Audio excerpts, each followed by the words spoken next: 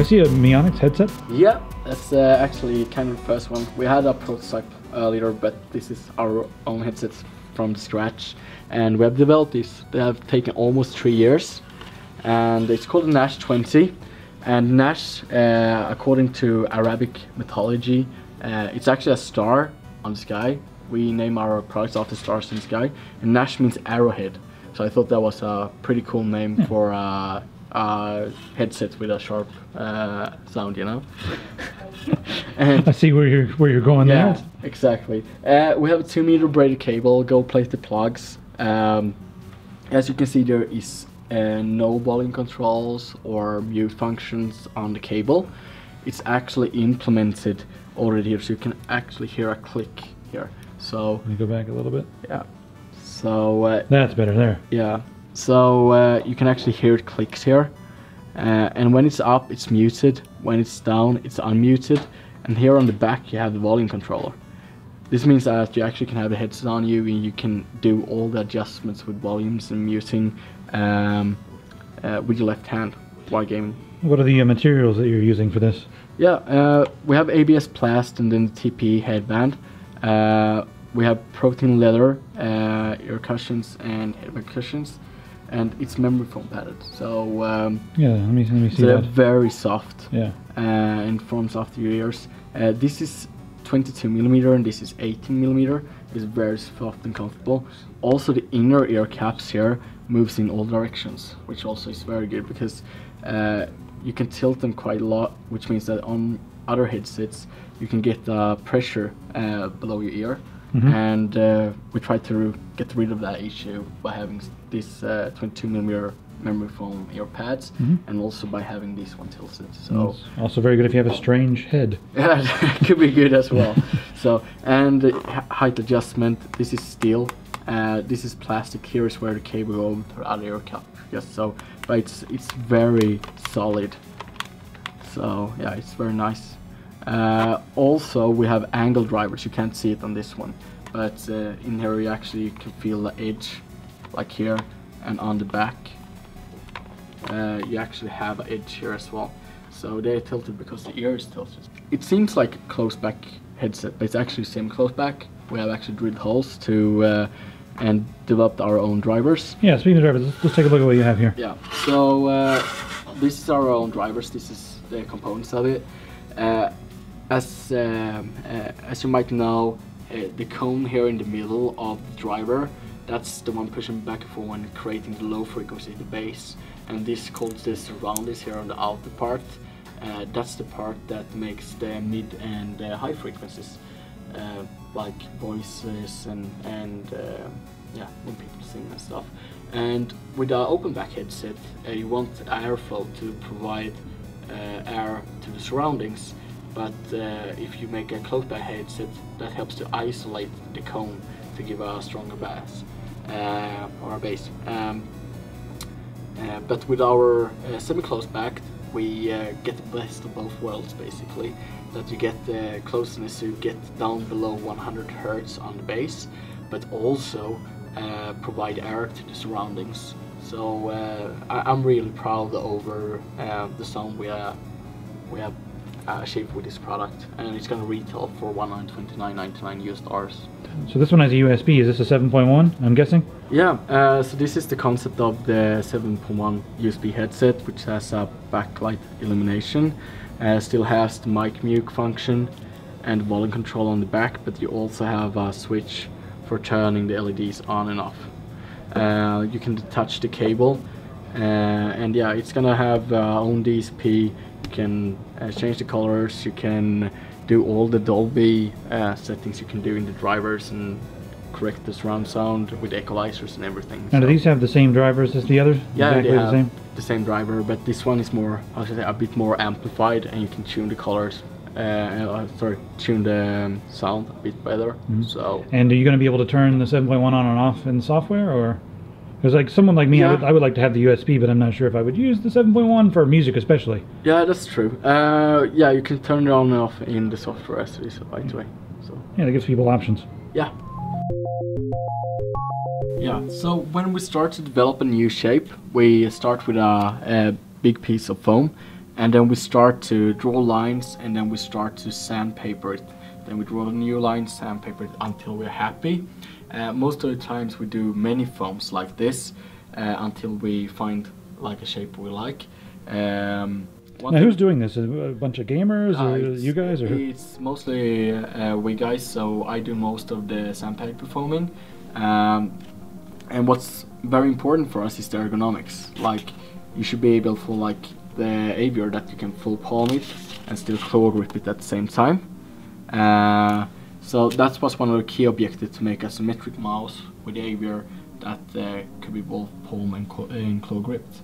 Uh, and we did that basically by having a very round back, uh, which gives you the support for the fingers on both ends.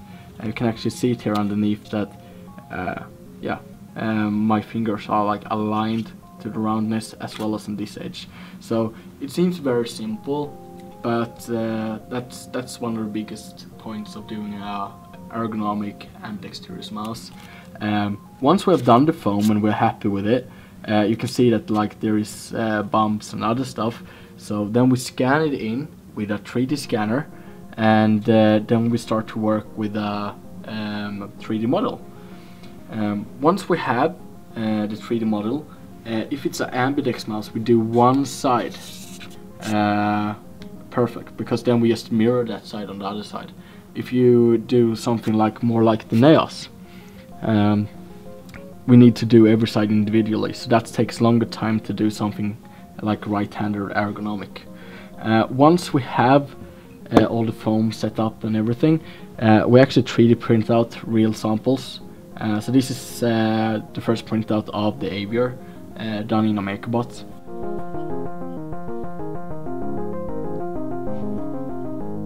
So it's pretty nice. Uh, and then afterwards, uh, you do mock-up samples. I don't have the real mock-up sample here, unfortunately, on the Avior. But uh, what it turns out later on to be is to these real products. Uh, this was the first one on the Naos 5000. It's end of life now. Uh, but this is the first mock-up sample we ever did. Uh, and we went more or less straight to mock-up samples, So we had some foams and stuff, but we actually started with 3D and started to print out from the start. Uh, we have refined that uh, process since uh, uh, since we started. So this was actually made in 2009.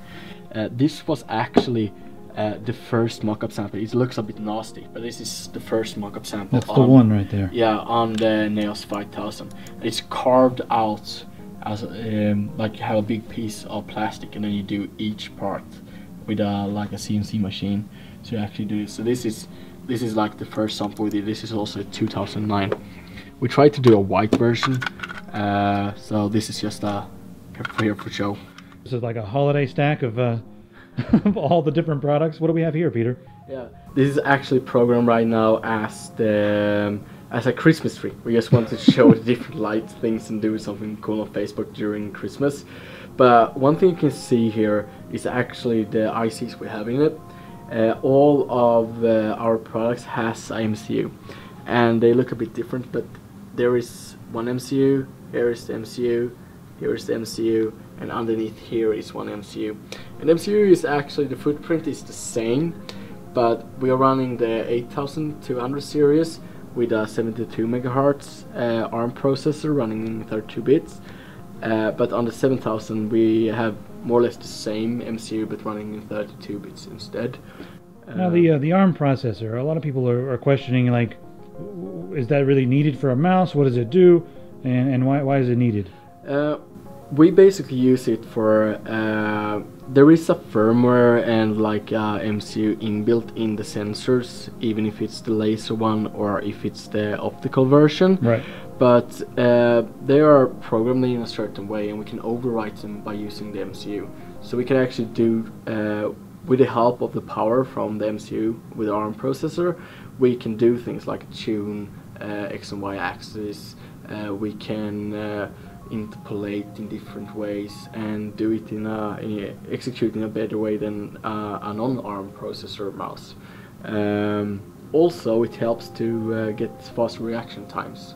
Um, and also we have memory inbuilt in the MCU. which means that we don't have an extra memory stack, so it's all connected. It's all all integrated. Okay. Yeah, exactly. So when you do macros and everything, those things should go faster as well when you have ARM processors. On the 8200, we use the Omron 10 millimeter switches, uh, 10 million lifecycle switches. It's these ones. Uh, they look the same as the 20 million switches, but it's a different feather on the inside. So that's basically the only difference, but the tactile feel are a bit different as well between them. Uh, both are very good switches with long lifetime, but we're upgrading all the whole range to 20 million right now. Um, uh, my favorite switches though, th this is mine as as Yeah. Pete and Iron, not my Onyx, is actually that I like the TTCs. That's the ones we have here on the side buttons.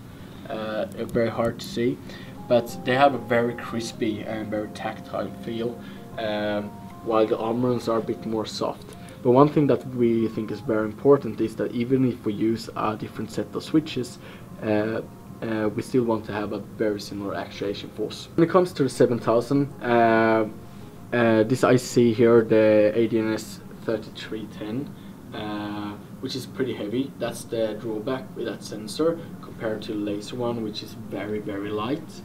Um, it's um, uh, it doesn't have any um, positive or negative hardware acceleration. Unfortunately, this laser sensor does. Uh, Pixart and Avago, who makes the sensors, Mhm. um, they haven't uh, made the algorithms good enough uh, for the laser sensors. It's possible to make the laser sensors without any accelerations, and we have even tried to pro- reprogram them, but because it's a bit uh, inaccurate, it's either positive or negative, and it can come whenever. Uh, even if it's just small acceleration differences, it's inaccurate. We cannot reprogram the algorithms. Uh, but the Avior 7000 is good from the start. So actually, it's the only difference is the lightning technique. Like when it comes to optical uh, thing, it's more or less the same. Even if they look very different, the opticals it's actually more or less the same. It's just easier to integrate uh, laser into the ICs. Here you actually need to have the LED lights over here and that's why it's also heavier and you need a wider lens which also add on weight so uh, and you see this takes a lot of space uh, and this one is very small and doesn't take up that much space so uh, there is pros and cons